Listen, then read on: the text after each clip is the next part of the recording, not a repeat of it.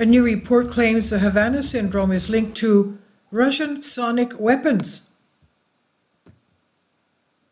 A new investigation by multiple news outlets has linked the phenomenon to a Russian intelligence unit. The true nature of Havana syndrome, which is named after a spate of suspected attacks which began in Havana, Cuba back in 2016, has remained somewhat of a mystery for the better part of a decade. Victims of the phenomenon typically report symptoms such as fatigue, headaches, and nausea, as well as debilitating long term health issues that have proven difficult to treat.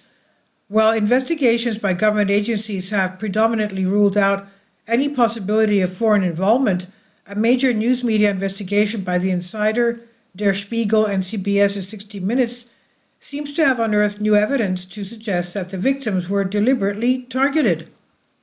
According to their research, a very specific Russian, military intelligence unit known as 29155 was present in the same cities at the same times as the attacks took place.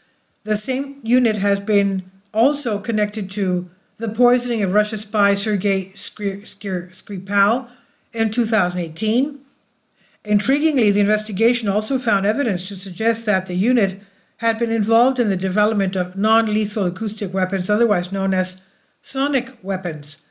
Such sonic systems could easily account for the symptoms experienced by those affected.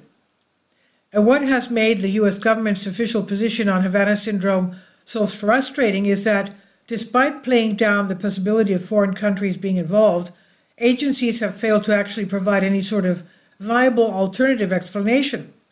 So, could they have been covering up what they really knew about the phenomenon? Unsurprisingly, Russia has since moved to deny any involvement.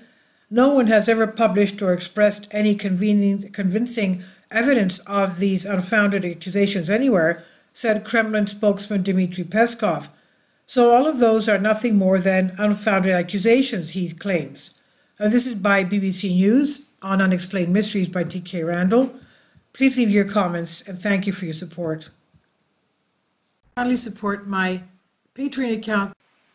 The daily posts are five videos daily and they are totally different from what I have on my YouTube channel. Thank you so much for your support and that you find all my content so interesting. You'll find the Patreon account details in the description box below.